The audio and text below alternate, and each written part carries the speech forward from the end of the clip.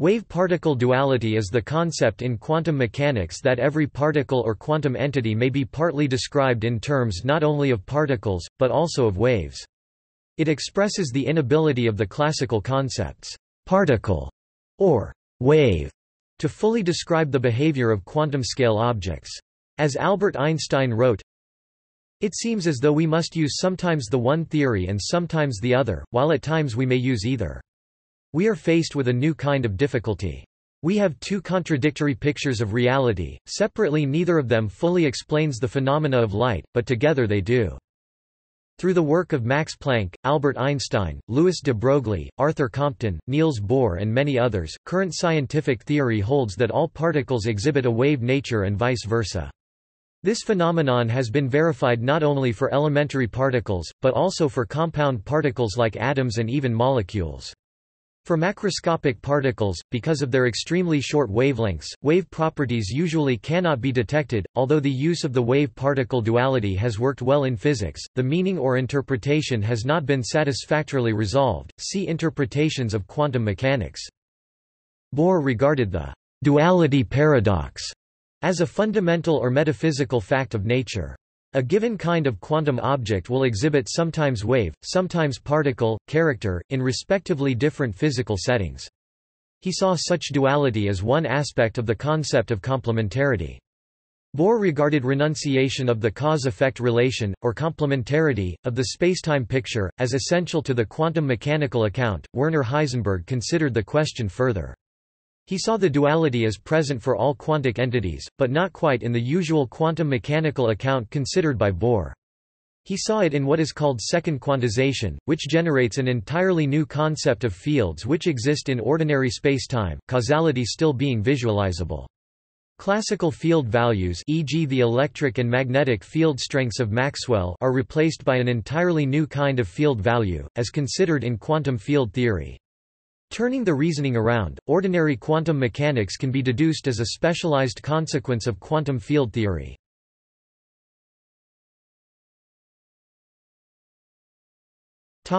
History of wave-particle duality Democritus, the original atomist, argued that all things in the universe, including light, are composed of indivisible subcomponents light being some form of solar atom. At the beginning of the 11th century, the Arabic scientist Ibn al-Haytham wrote the first comprehensive book of optics describing refraction, reflection, and the operation of a pinhole lens via rays of light traveling from the point of emission to the eye. He asserted that these rays were composed of particles of light. In 1630, René Descartes popularized and accredited the opposing wave description in his treatise on light, The World Descartes, showing that the behavior of light could be recreated by modeling wave-like disturbances in a universal medium i.e. luminiferous ether. Beginning in 1670 and progressing over three decades, Isaac Newton developed and championed his corpuscular theory, arguing that the perfectly straight lines of reflection demonstrated light's particle nature, only particles could travel in such straight lines. He explained refraction by positing that particles of light accelerated laterally upon entering a denser medium. Around the same time, Newton's contemporaries Robert Hooke and Christiaan Huygens and later Augustin Jean Fresnel mathematically refined the wave viewpoint, showing that if light traveled at different speeds in different media such as water and air, refraction could be easily explained as the medium-dependent propagation of light waves. The resulting Huygens-Fresnel principle was extremely successful at reproducing light's behavior and was subsequently supported by Thomas Young's 1801 discovery of interference by his double-slit experiment. The wave view did not immediately displace the ray and particle view, but began to dominate scientific thinking about light in the mid-19th century, since it could explain polarization phenomena that the alternatives could not. James Clerk Maxwell discovered that he could apply his previously discovered Maxwell's equations, along with a slight modification to describe self-propagating waves of oscillating electric and magnetic fields. It quickly became apparent that visible light, ultraviolet light, and infrared light were all electromagnetic waves of differing frequency. The wave theory had prevailed or at least it seemed to. While the 19th century had seen the success of the wave theory at describing light, it had also witnessed the rise of the atomic theory at describing matter. At the close of the 19th century, the reductionism of atomic theory began to advance into the atom itself determining, through physics, the nature of the atom and the operation of chemical reactions. Electricity, first thought to be a fluid, was now understood to consist of particles called electrons. This was first demonstrated by J. J. Thomson in 1897 when, using a cathode ray tube, he found that an electrical charge would travel across a vacuum. Since the vacuum offered no medium for an electric fluid to travel, this discovery could only be explained via a particle carrying a negative charge and moving through the vacuum. This electron flew in the face of classical electrodynamics, which had successfully treated electricity as a fluid for many years leading to the invention of batteries, electric motors, dynamos, and arc lamps. More importantly, the intimate relation between electric charge and electromagnetism had been well documented following the discoveries of Michael Faraday and James Clerk Maxwell. Since electromagnetism was known to be a wave generated by a changing electric or magnetic field a continuous, wave-like entity itself an atomic, particle description of electricity and charge was a non sequitur. Furthermore, classical electrodynamics was not the only classical theory rendered incomplete.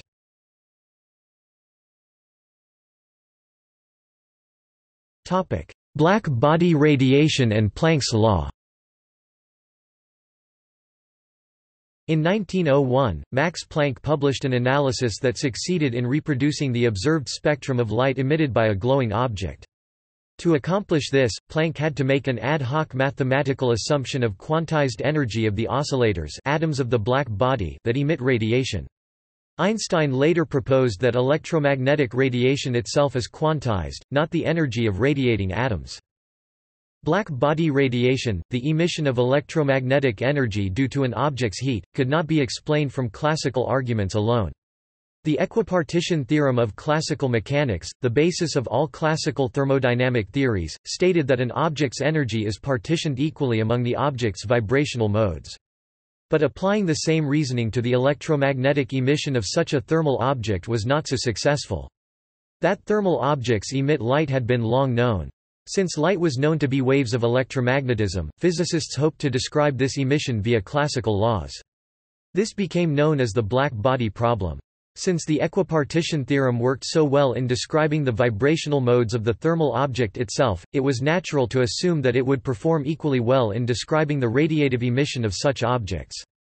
But a problem quickly arose if each mode received an equal partition of energy, the short wavelength modes would consume all the energy. This became clear when plotting the Rayleigh-Jeans law which, while correctly predicting the intensity of long wavelength emissions, predicted infinite total energy as the intensity diverges to infinity for short wavelengths. This became known as the ultraviolet catastrophe.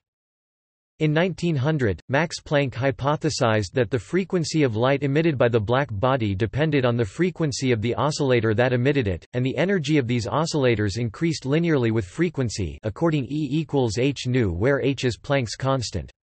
This was not an unsound proposal considering that macroscopic oscillators operate similarly when studying five simple harmonic oscillators of equal amplitude but different frequency. The oscillator with the highest frequency possesses the highest energy though this relationship is not linear like Planck's. By demanding that high-frequency light must be emitted by an oscillator of equal frequency, and further requiring that this oscillator occupy higher energy than one of a lesser frequency, Planck avoided any catastrophe, giving an equal partition to high-frequency oscillators produced successively fewer oscillators and less emitted light. And as in the Maxwell-Boltzmann distribution, the low-frequency, low-energy oscillators were suppressed by the onslaught of thermal jiggling from higher-energy oscillators, which necessarily increased their energy and frequency. The most revolutionary aspect of Planck's treatment of the black body is that it inherently relies on an integer number of oscillators in thermal equilibrium with the electromagnetic field. These oscillators give their entire energy to the electromagnetic field, creating a quantum of light, as often as they are excited by the electromagnetic field, absorbing a quantum of light and beginning to oscillate at the corresponding frequency. Planck had intentionally created an atomic theory of the black body, but had unintentionally generated an atomic theory of light, where the black body never generates quanta of light at a given frequency with an energy less than h nu. However, once realizing that he had quantized the electromagnetic field, he denounced particles of light as a limitation of his approximation, not a property of reality.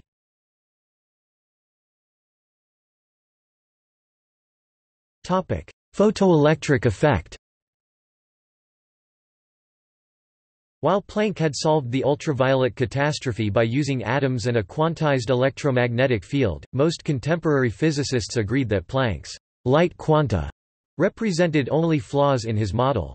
A more complete derivation of black body radiation would yield a fully continuous and wave-like electromagnetic field with no quantization.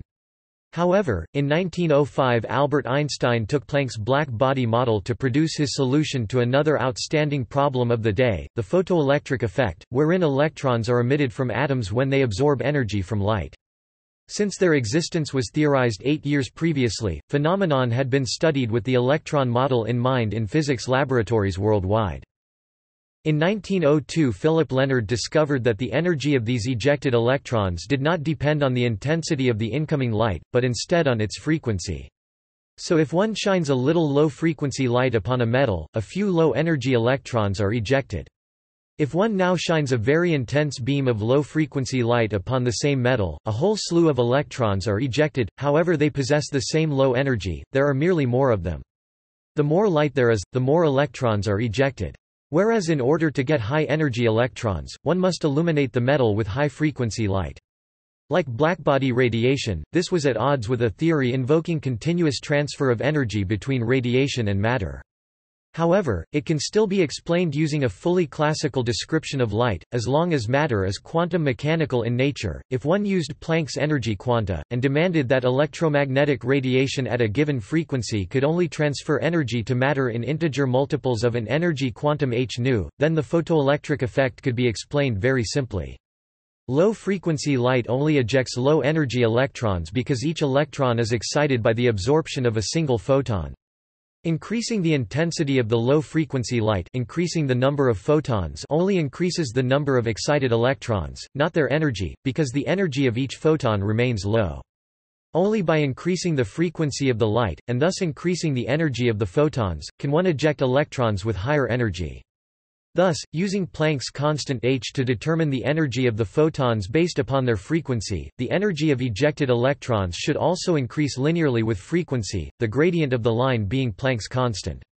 These results were not confirmed until 1915, when Robert Andrews Millikan, who had previously determined the charge of the electron, produced experimental results in perfect accord with Einstein's predictions. In fact, Millikan experimented for full 10 years from 1906 to 1916 aimed at disproving Einstein's photoelectric equation, however the value of Planck's constant determined from his experiments came out to be very close to the original value. Thus, the he established the validity of Einstein's photoelectric equation instead of disproving it. While energy of ejected electrons reflected Planck's constant, the existence of photons was not explicitly proven until the discovery of the photon antibunching effect, of which a modern experiment can be performed in undergraduate-level labs. This phenomenon could only be explained via photons, and not through any semi-classical theory which could alternatively explain the photoelectric effect. When Einstein received his Nobel Prize in 1921, it was not for his more difficult and mathematically laborious special and general relativity, but for the simple, yet totally revolutionary, suggestion of quantized light. Einstein's light quanta would not be called photons until 1925, but even in 1905 they represented the quintessential example of wave-particle duality. Electromagnetic radiation propagates following linear wave equations, but can only be emitted or absorbed as discrete elements, thus acting as a wave and a particle simultaneously.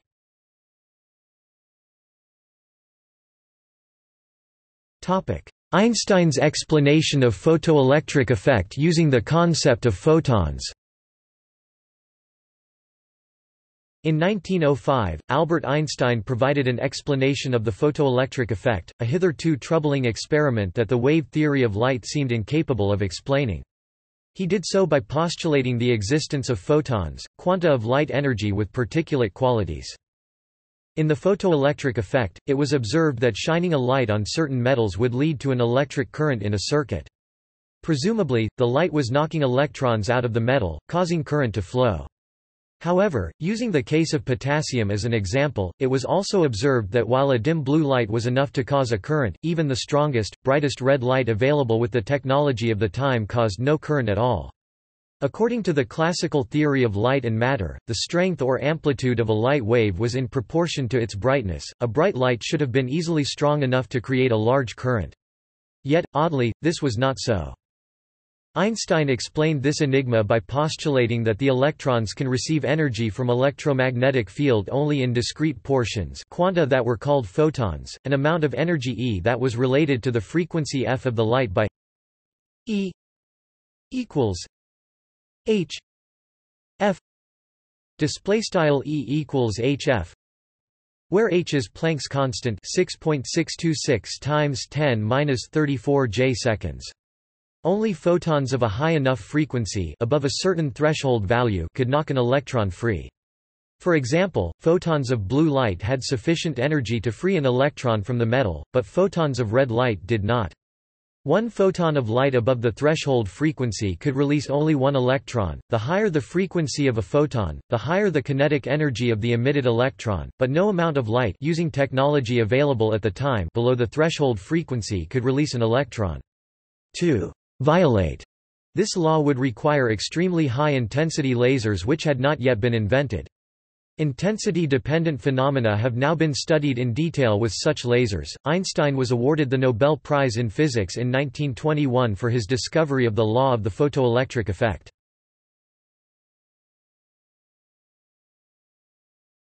Topic: De Broglie's hypothesis of wave-particle duality. In 1924, Louis Victor de Broglie formulated the de Broglie hypothesis, claiming that all matter, not just light, has a wave-like nature. He related wavelength denoted as lambda and momentum denoted as p.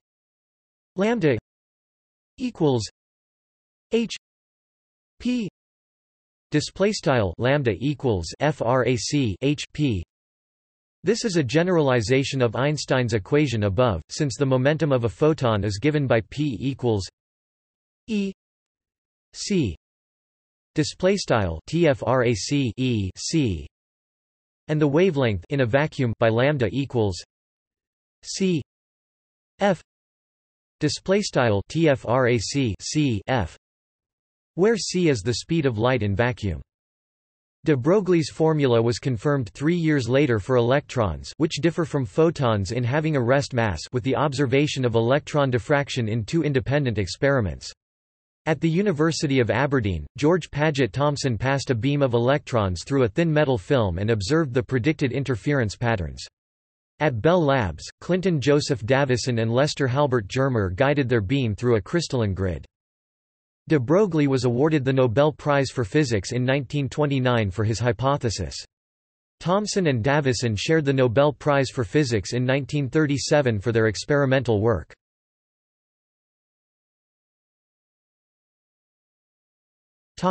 Heisenberg's uncertainty principle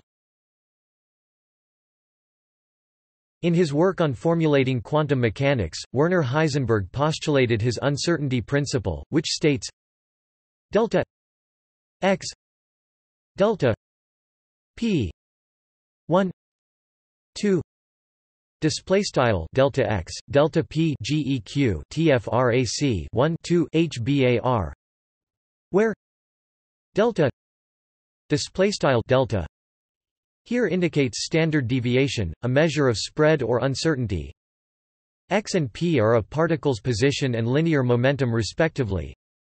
Display style hbar is the reduced Planck's constant Planck's constant divided by 2 pi display style pi Heisenberg originally explained this as a consequence of the process of measuring. Measuring position accurately would disturb momentum and vice versa, offering an example the gamma-ray microscope that depended crucially on the de Broglie hypothesis. The thought is now, however, that this only partly explains the phenomenon, but that the uncertainty also exists in the particle itself, even before the measurement is made. In fact, the modern explanation of the uncertainty principle, extending the Copenhagen interpretation first put forward by Bohr and Heisenberg, depends even more centrally on the wave nature of a particle. Just as it is nonsensical to discuss the precise location of a wave on a string, particles do not have perfectly precise positions. Likewise, just as it is nonsensical to discuss the wavelength of a pulse, Wave traveling down a string, particles do not have perfectly precise momenta which corresponds to the inverse of wavelength. Moreover, when position is relatively well defined, the wave is pulse-like and has a very ill-defined wavelength and thus momentum. And conversely, when momentum and thus wavelength is relatively well defined, the wave looks long and sinusoidal, and therefore it has a very ill-defined position.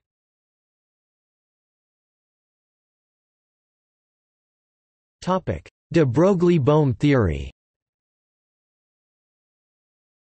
De Broglie himself had proposed a pilot wave construct to explain the observed wave-particle duality.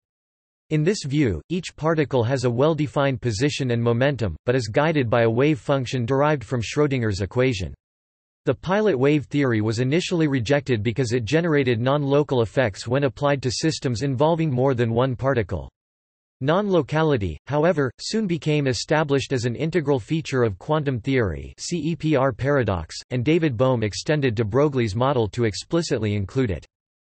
In the resulting representation, also called the de Broglie-Bohm theory or Bohmian mechanics, the wave-particle duality vanishes, and explains the wave behavior as a scattering with wave appearance, because the particle's motion is subject to a guiding equation or quantum potential. This idea seems to me so natural and simple, to resolve the wave-particle dilemma in such a clear and ordinary way, that it is a great mystery to me that it was so generally ignored."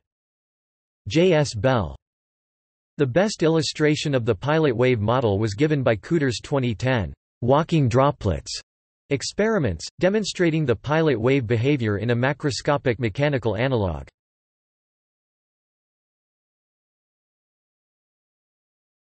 Topic: Wave behavior of large objects.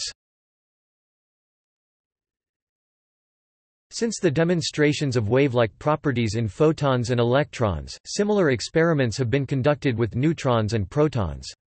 Among the most famous experiments are those of Estermann and Otto Stern in 1929. Authors of similar recent experiments with atoms and molecules, described below, claim that these larger particles also act like waves. A dramatic series of experiments emphasizing the action of gravity in relation to wave-particle duality was conducted in the 1970s using the neutron interferometer. Neutrons, one of the components of the atomic nucleus, provide much of the mass of a nucleus and thus of ordinary matter. In the neutron interferometer, they act as quantum mechanical waves directly subject to the force of gravity. While the results were not surprising since gravity was known to act on everything, including light see tests of general relativity and the Pound-Rebka falling photon experiment, the self-interference of the quantum mechanical wave of a massive fermion in a gravitational field had never been experimentally confirmed before. In 1999, the diffraction of C60 fullerenes by researchers from the University of Vienna was reported. Fullerenes are comparatively large and massive objects, having an atomic mass of about 720 U. The de Broglie wavelength of the incident beam was about 2.5 pm, whereas the diameter of the molecule is about 1 nanometer, about 400 times larger. In 2012, these far-field diffraction experiments could be extended to phthalocyanine molecules and their heavier derivatives, which are composed of 58 and 114 atoms respectively.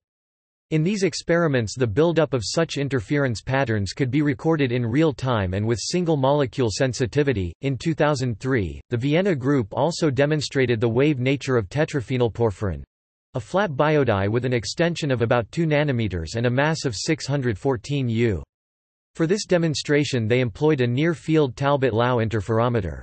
In the same interferometer they also found interference fringes for C60F48, a fluorinated buckyball with a mass of about 1600 U, composed of 108 atoms. Large molecules are already so complex that they give experimental access to some aspects of the quantum classical interface, i.e., to certain decoherence mechanisms.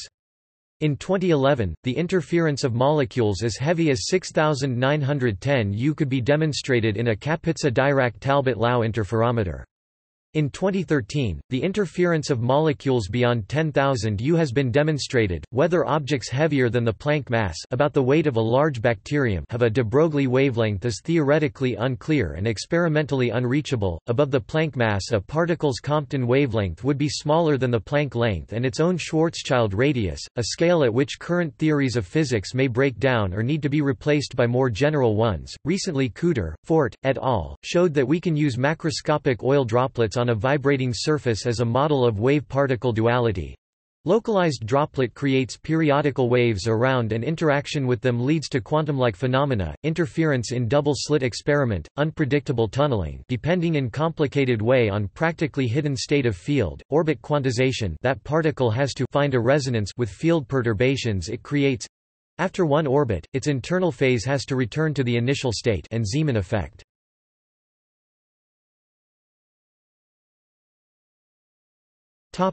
Importance in modern quantum mechanics Wave-particle duality is deeply embedded into the foundations of quantum mechanics. In the formalism of the theory, all the information about a particle is encoded in its wave function, a complex valued function roughly analogous to the amplitude of a wave at each point in space. This function evolves according to Schrödinger equation. For particles with mass this equation has solutions that follow the form of the wave equation. Propagation of such waves leads to wave-like phenomena such as interference and diffraction. Particles without mass, like photons, have no solutions of the Schrödinger equation so have another wave. The particle-like behavior is most evident due to phenomena associated with measurement in quantum mechanics. Upon measuring the location of the particle, the particle will be forced into a more localized state as given by the uncertainty principle.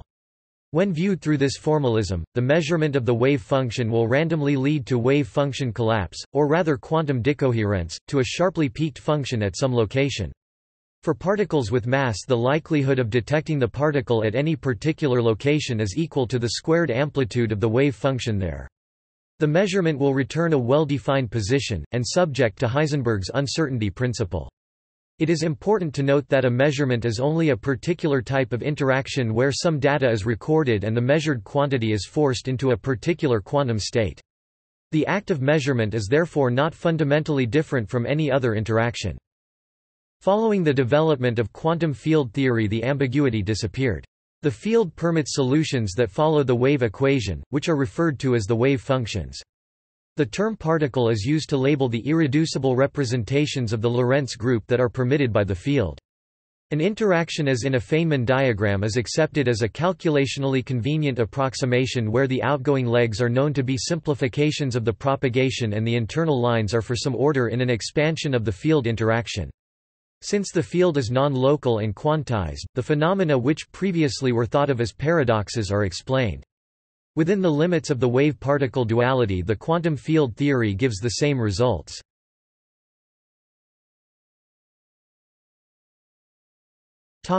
Visualization There are two ways to visualize the wave-particle behavior, by the standard model described below, and by the Broglie-Bohm model, where no duality is perceived. Below is an illustration of wave-particle duality as it relates to de Broglie's hypothesis and Heisenberg's uncertainty principle above, in terms of the position and momentum space wavefunctions for one spinless particle with mass in one dimension. These wavefunctions are Fourier transforms of each other.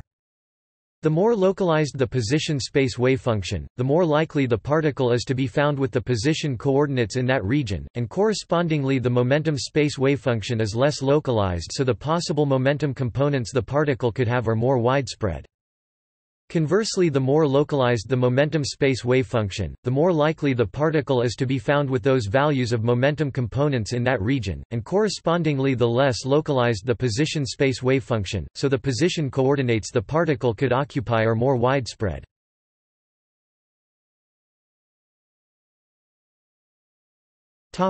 Alternative views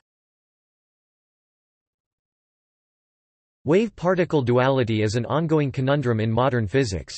Most physicists accept wave-particle duality as the best explanation for a broad range of observed phenomena, however, it is not without controversy. Alternative views are also presented here. These views are not generally accepted by mainstream physics, but serve as a basis for valuable discussion within the community.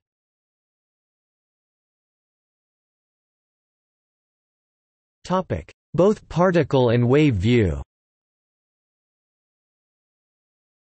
The pilot wave model, originally developed by Louis de Broglie and further developed by David Bohm into the hidden variable theory proposes that there is no duality, but rather a system exhibits both particle properties and wave properties simultaneously, and particles are guided, in a deterministic fashion, by the pilot wave or its quantum potential, which will direct them to areas of constructive interference in preference to areas of destructive interference.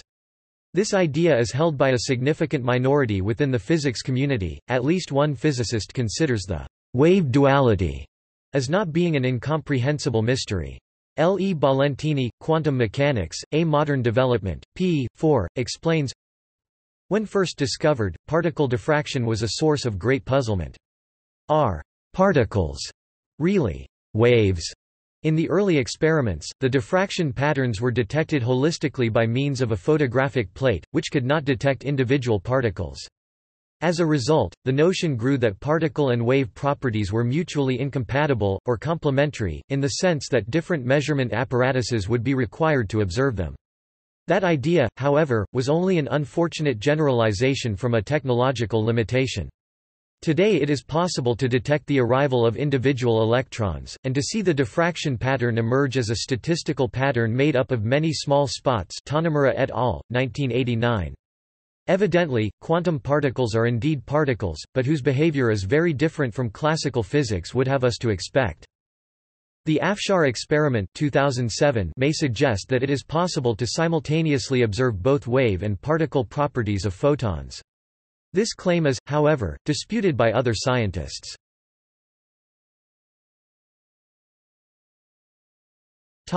Wave-only view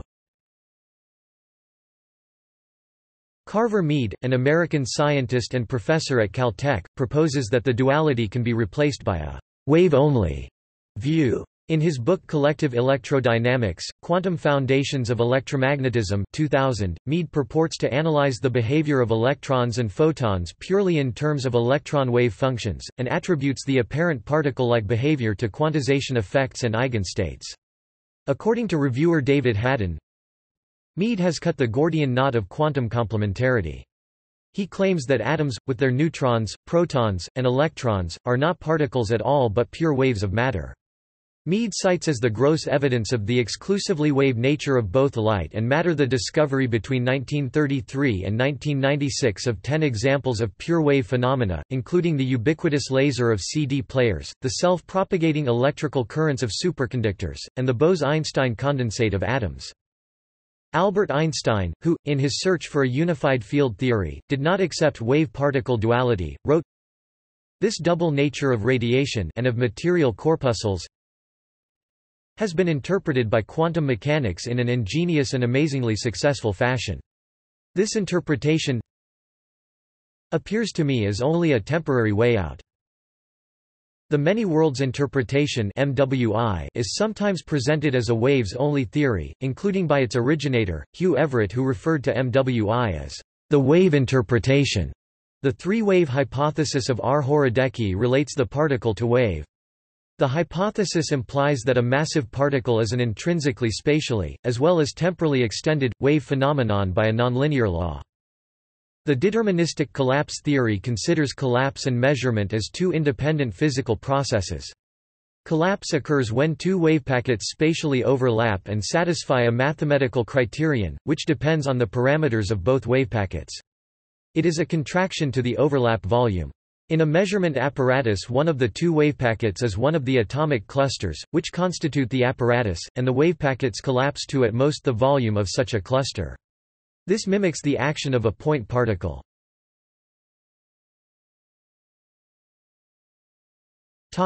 Particle-only view Still in the days of the old quantum theory, a pre-quantum mechanical version of wave-particle duality was pioneered by William Duane, and developed by others including Alfred Landé. Duane explained diffraction of X-rays by a crystal in terms solely of their particle aspect. The deflection of the trajectory of each diffracted photon was explained as due to quantized momentum transfer from the spatially regular structure of the diffracting crystal.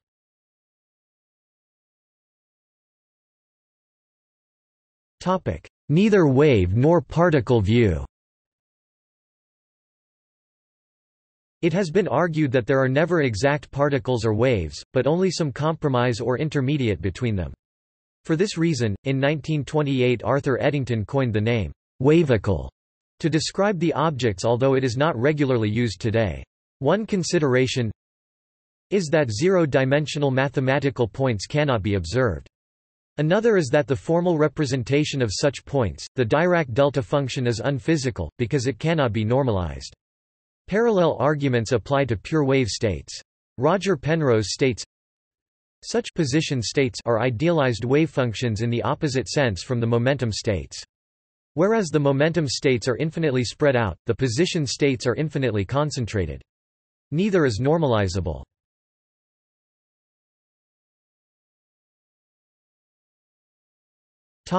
Relational approach to wave-particle duality Relational quantum mechanics has been developed as a point of view that regards the event of particle detection as having established a relationship between the quantized field and the detector. The inherent ambiguity associated with applying Heisenberg's uncertainty principle is consequently avoided, hence there is no wave-particle duality.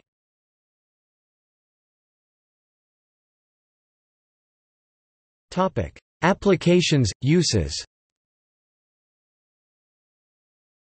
Although it is difficult to draw a line separating wave-particle duality from the rest of quantum mechanics, it is nevertheless possible to list some applications of this basic idea.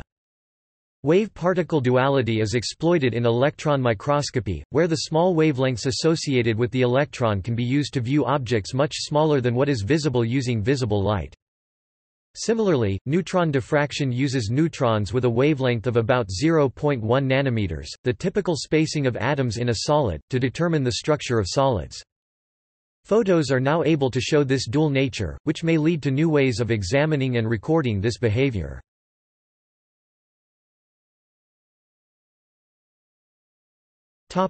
See also